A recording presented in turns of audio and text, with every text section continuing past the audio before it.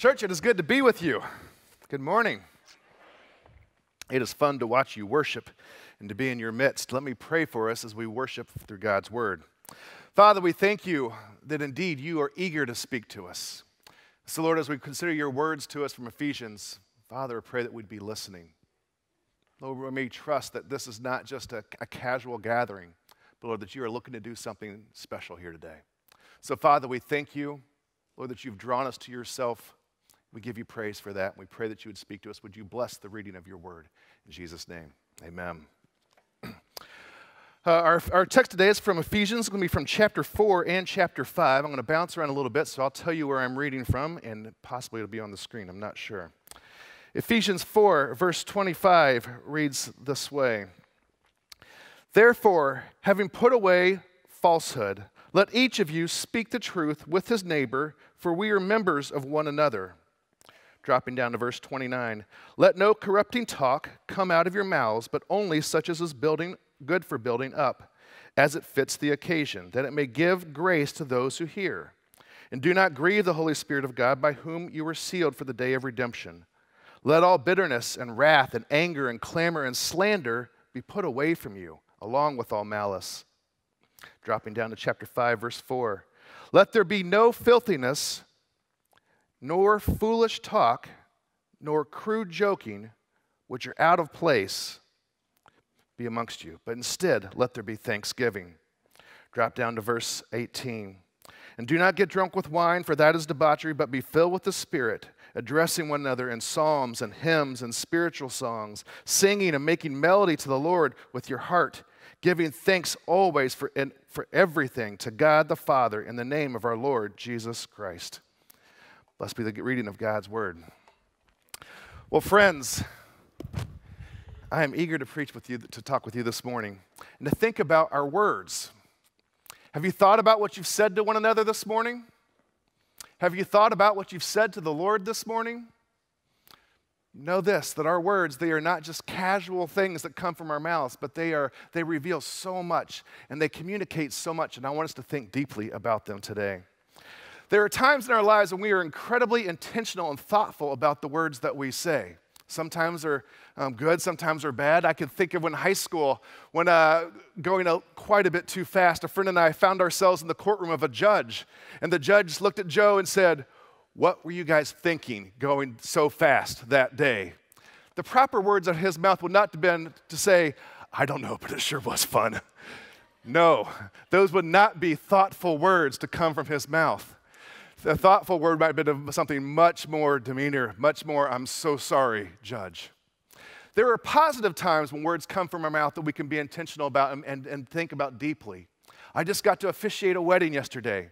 It was a beautiful joining together of a young woman and a young man, which reminded me of my wedding day 18 some years ago. As I stood before them to officiate and had me recite vows back and forth, and then he asked, Do you? And with an intentionality, I said, I do. There are times in our lives we need to think with intention about what we are saying and what we are speaking.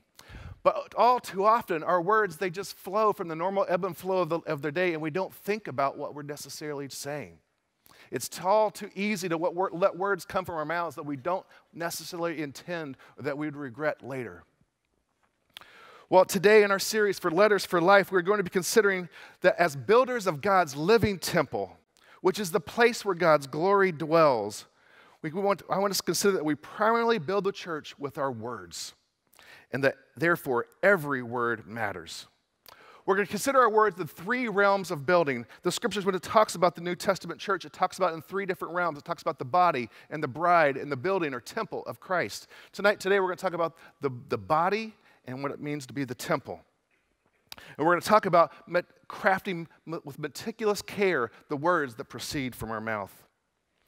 First of all, before we jump in, though, I want us, before we drop into Paul's imperatives from this text, I want us to think about the first word that, he, that I read from Ephesians chapter 4, verse 25. He says, Therefore, having put away falsehood, let each of you speak the truth with his neighbor this word, therefore, is a transitional word, linking together what Paul's been writing previously.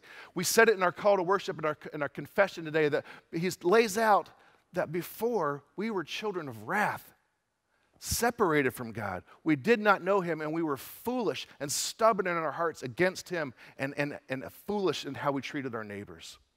But by God's grace, he pierced our heart and we, changed us. He allowed us to be drawn near. So we're called, it later in chapter 3, he says, We are brothers of one body. We've been brought near to worship God. So as I get ready to talk about the imperatives of this chapter 4, realize, brothers and sisters, that that therefore is an incredibly powerful word. It says, These things are true of you. You've been brought near into the body of Christ by the grace of our Lord Jesus Christ. And so, therefore, we are to live out how we speak with our mouths appropriately based on who we are. Well, I love the language of, uh, that he uses, and I also love that he links this idea of building to 1 Peter chapter 2, where Peter uses the imagery of building. He says that we are living stones of the temple of God, and we are built up as a spiritual house. Now, I love building. Um, the fun thing of being in ministry is I'm constantly working with people, and people are often works in progress. But when I think about construction with my hands, it's so fun to start a project and to finish it and bring it to complo- completion. That's why I love building. When we bought our house in 2010 and moved here, um, it was, we wanted to be close to campus, and it was what we could afford.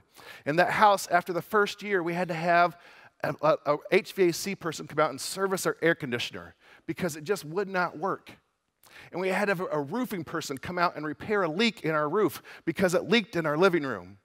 And then after a year and a half, we had to have the same HVAC guy back out to our house and the same roofing guy back out to our house. And by the third time when Barrett and I were the second year of living in that house with a five gallon bucket in the living room, collecting rainwater as it dripped through our ceiling, I said, Babe, I think we're going to have to do what the professionals have told us.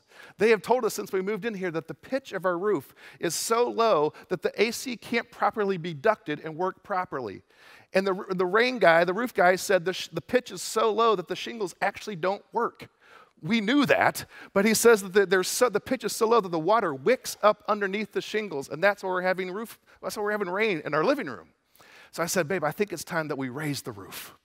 And so we thought about raising it a foot, but in the end, we decided why raise it a foot? We can raise it 30 feet. So this is a picture of my house as we bought it. And then over the course, with a lot of blood, sweat, and severally plenty of tears, we built that. And it's a beautiful thing. And we're so thankful for it. But here's my point. Next slide, please if how we did it, I talked some recent college grads and to come over to my house. I erected scaffolding on my roof and I started to build. And I had those guys shove boards up to me one at a time as I nailed them into the top ridge board. Do you know that when you build a roof on top of your house, if you do not build it exactly at a 90 degree angle and everything precisely laid out, that when you put that first, first piece of four foot by eight foot sheathing on the corner, the plywood to put the shingles on later, if you don't put it on exactly right, by the time you build and build and then build on top of it, time you get to the corner, some of it might not even be lying on the, the rafters that you've previously erected. That might not be true with my house, I'm not saying, but just for those, you need to know you need to build with meticulous care, even if you're simply a framing crew. You have to build with intentionality, thinking about what the, what the, end result is, and you have to build meticulously, or when you get to the corner, things will not go well for you. We have to think about our words, Paul is exhorting us. He says, Put away falsehood. This falsehood is where we get our word pseudo. How many times have we been in a community like this and we'll walk in and someone will say, how you doing? And we'll say, fine. But just below the surface, we're not. It's like when we show up to a, a, high school class reunion after 20 or 25 years and you've worked furiously to lose 20 pounds to arrive at that place, or you've rented the car to show up in something a little bit nicer than you normally drive, trying to put on a facade of, like, I'm doing well. The reality is, is the scripture says that when we're in community, we need to think with care about how we're speaking to one another and not put on falsehood, not to have pseudo community. But when someone says, How are you doing? and you hear someone say, I'm doing okay, to have the guts to say, Really? And then if they say, Well, actually, it's been hard, to listen and to be able to speak truth, to remind them of what is true and what is right and what is good and the hope that we have in Christ. That's what we need to be in this community. That's what Paul is saying when he says, put away falsehood. But then he goes on to the hard things that slap us around. In verse 31, he lays out the sinful six. He says, he exhorts, let all bitterness and wrath and anger and clamor and slander be put away from you, along with all malice. Let me just walk through them real quick. The speech of bitterness has a harshness to it, a resentfulness that you can taste in the tinge of the, the, the, the what's been scooped out of the vat, a harshness. Have you ever heard the, make an easily, seemingly innocent comment? Oh, those darn politicians. They're so far away in, in DC, they're making things that impact my life, and it's just, they, they, they don't think about anything for the common man. Those words of harshness, of bitterness, are being, are they're just, they're right on the surface. They don't, you don't quite know how to take them, but just below you realize there's a bitterness there that's not appropriate for the people of God if we're bitter about how our life is going and that things just keep being way too difficult as what as it should be, we have to trust that the Lord knows what He's doing and He's still good. We have to put away that bitterness. Paul says the speech of bitterness is not fitting for one who's been, become part of the body. We have to put it away. When you speak of those politicians, do you not know that possibly those are your fellow brothers and sisters in the Lord? The Lord might just be at work in their lives, crafting and shaping them as they're a stone being put in the living temple. Did you know that your stone, like you literally might be for all eternity, a stone right next to them, giving songs of praise to our King? We have to be gracious with how we speak to one another and how we have to speak to the larger body of Christ. If we're putting down that church over there for how they go about pursuing Christ, we need to be careful and not speak with bitterness about how, how they're doing it. Paul says we need to put away wrath. The words of wrath have a context of, of passionate outburst of rage. They're the kind that we don't know are within us, but they just bubble up. Now, we live in a time of relative peace, but you can imagine the first century when Paul was reading these, writing these words and the persecution that was going on by Nero. You have to understand that words of wrath, how much they can divide a church. They can cause martyrdom when the government comes in because words have been spoken that weren't appropriate. You have to imagine when they were writing, the penning the, the, the words of the Westminster Confession or the times of the, of the Reformation, when they're arguing over theology, those are, it's, it's important to have right doctrine, but we can't use words of malice and anger as we're trying to hammer home what we believe. We can't have outbursts of anger. It's not appropriate for the body of Christ. Paul says to boy, put away speech of anger. This has the nuance of impulsive vengeance. He says speech of clamor is not right. The speech of clamor, it's like it's this shrieking, outcrying, screaming kind of language. I picture a, a fight in a, in a, high school gym, like, you know, dining room of like a whole gaggle of 10 girls at each other. And finally the principal comes and they says, she did it, she did it. And like, you know, that was my high school days. Um, like that kind of speech is, it accomplishes nothing. And it's not appropriate for the body of Christ. The word slander is blasphemia, which is literally where we get our word blaspheme. Paul says we are not to slander one another. This kind of speech is to be put away. Now, you might be thinking, Darren, I love everyone in here. This is church. These are my people. This is where I'm, I, I am comfortable in this place. I don't use words of slander with people that I love. Brothers and sisters, note where these words in the chapter 4 where they lie in the overall book. Chapter 1 how does it start? To the church of ephesus my faithful brethren in the lord dearly beloved all positive. 1 2 and 3 all words of but you've been brought near. Christ has saved you by his grace. But don't you realize as soon as he starts moving into the imperatives the first thing that he has to address in chapter 4 is their speech we need to be cautious and thoughtful, intentional, meticulous when we craft words about one another or with one another. That's what's appropriate. That we may build the body, the living temple of Christ, with precision, such that when we get to the completed portion, everything is right and as it should be. We need to speak with meticulous care. Our second point is this. As craftsmen empowered by the Spirit and realizing that every word matters, we must meticulously craft words to ourselves.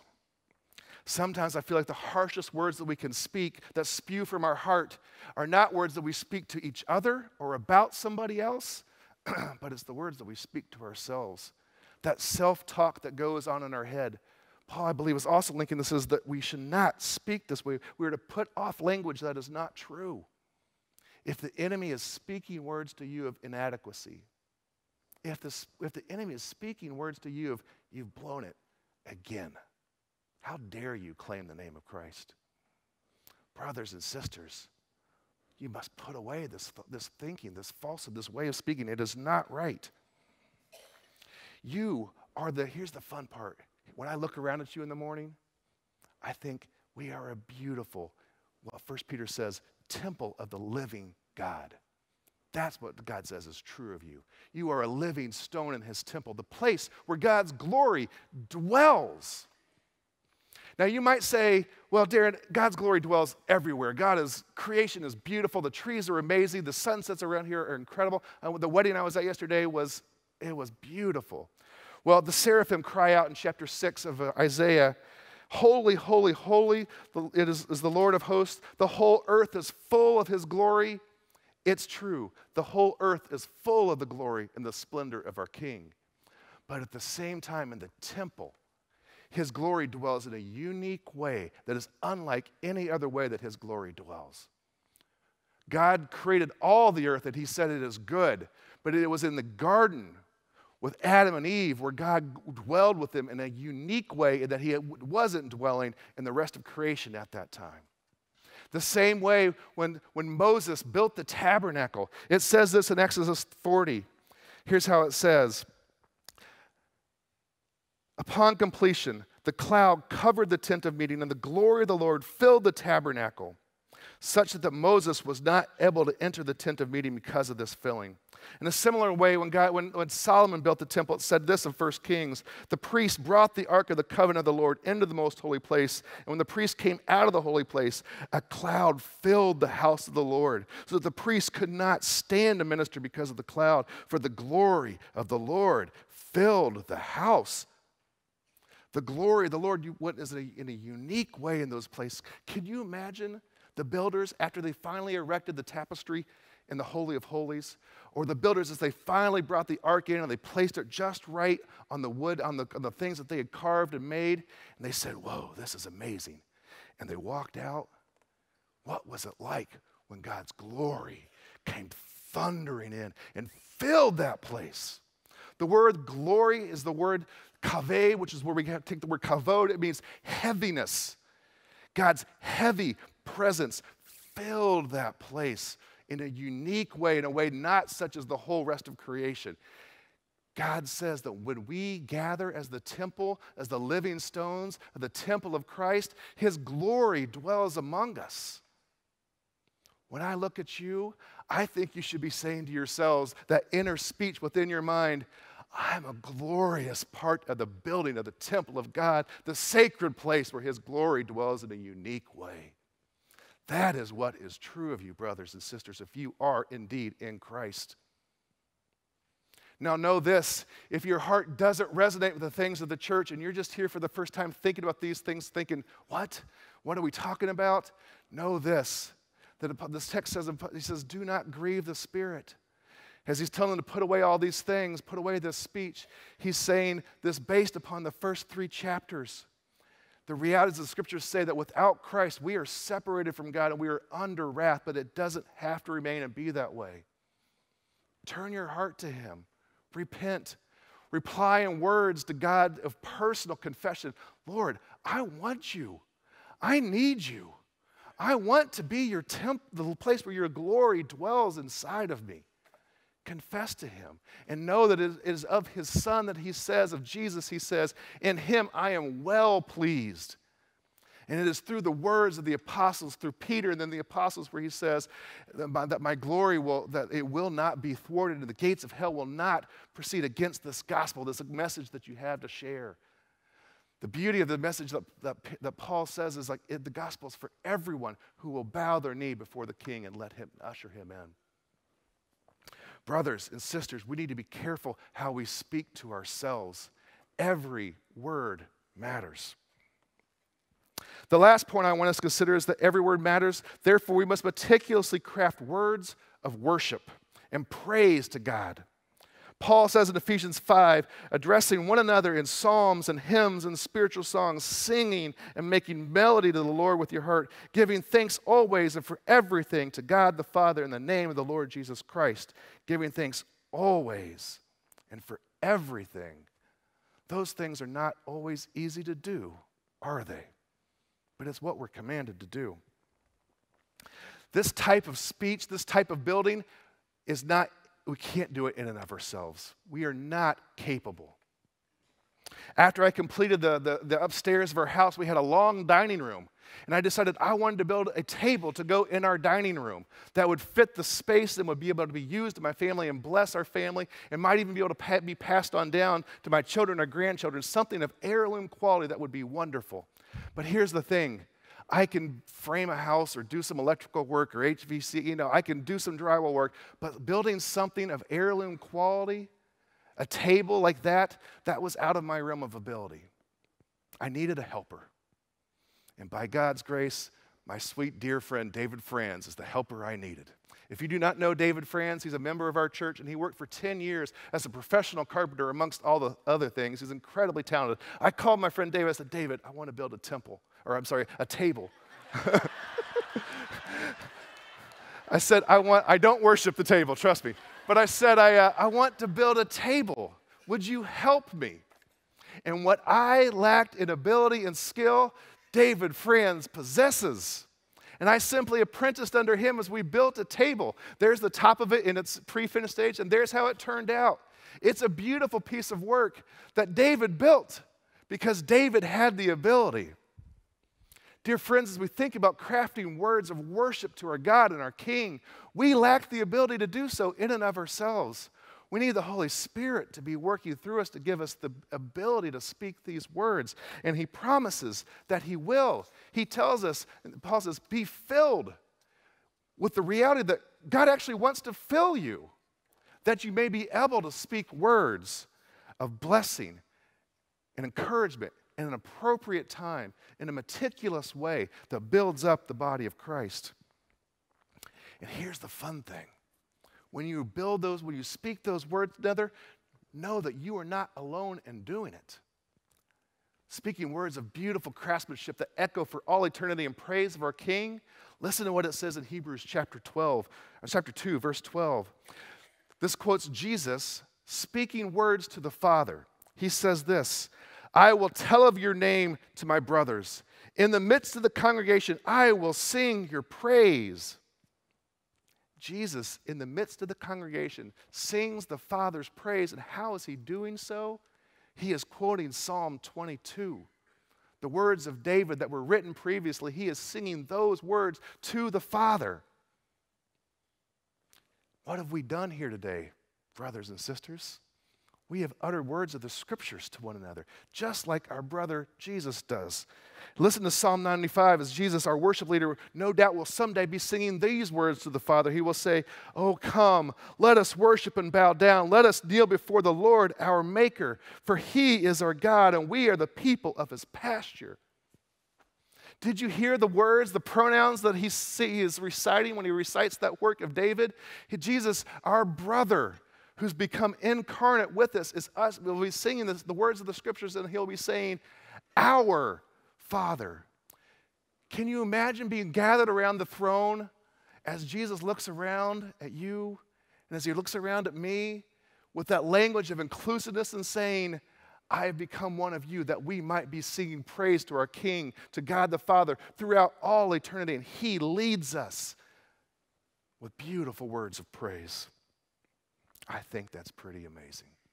And that shapes how we should think about our words today. This is no just gathering, a normal thing we do every week on a Sunday. No, no, dear brothers and sisters, we are the gathered church, the place where God's glory dwells. We are speaking words that Christ Himself will be speaking for all eternity, giving praise to our King. And that is awesome. So, in closing, be encouraged that God says that you are builders of his living temple, the place where his glory dwells. We build through our words, and we must use meticulous care in doing so. We must put away speech that is not fitting for the body of Christ or what should be coming from our mouths. We may be cautious and thoughtful about the words that we listen to and speak inside our head to ourselves and, and replace the lies with truth. And we must also rejoice that we will be singing words of praise to our King forever with our brother Christ leading the choir. And that will be incredible. Let me pray for us. Father, we thank you that you indeed are good, Lord, that you are worthy of our words of worship and praise. Father, may we speak words that are building up of one another. Lord, help us to be intentional in how we do so. May we be t- attentive to look for ways to speak truth and kindness. Lord, we know we need it. And Lord, we are grateful that you will empower us with your spirit to do so, not only now, but for all eternity. And for this, we give you praise. In Jesus' name, amen.